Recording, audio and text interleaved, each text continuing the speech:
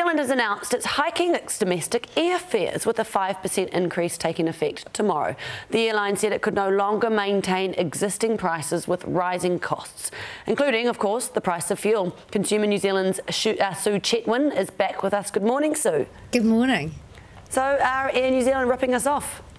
Look, I mean, they're allowed to put their prices up, you know, they're in business, but are they ripping us off is probably another question.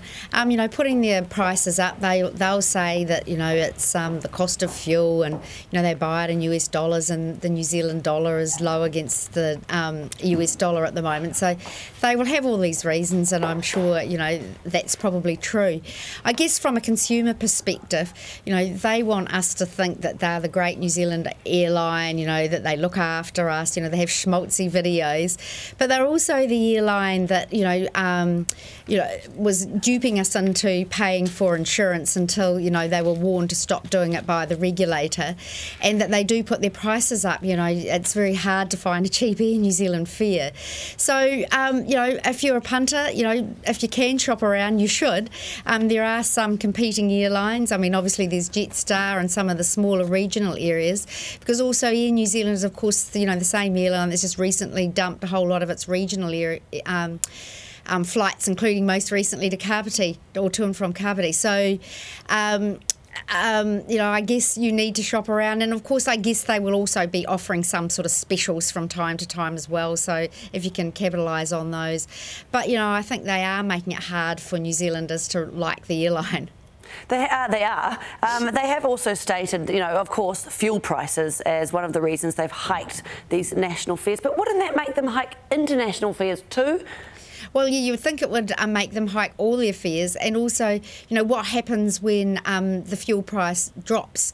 Uh, do we see a significant drop in prices? I, I don't know when we last saw um, fares drop, and they made an announcement about that.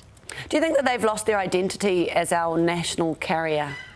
I think they're tough, and I think you know it's, it's going to be um, hard for them to you know maintain that sort of family-friendly airline that we all like to travel, because they don't treat their customers that well.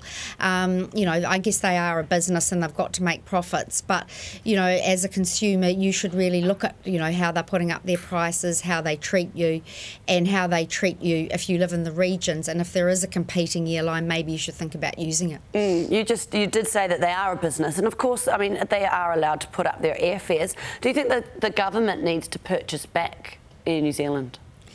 Um, well, I mean, that would be up to the government to decide. Uh, you know, probably, you know, I mean, I think they still do have a small ownership in it, but, uh, um, you know, I don't think it's one of those issues where, you know, they might need to look for an inquiry like they are going to probably do into, you know, uh, like they are doing into gas stations. They are a business, but they are rapacious with their pricing. So, you know, I think they're going to be care- they're going to need to be careful because if there are options, then maybe people will start to exercise them. Thanks for your time this morning, Sue Chetwin.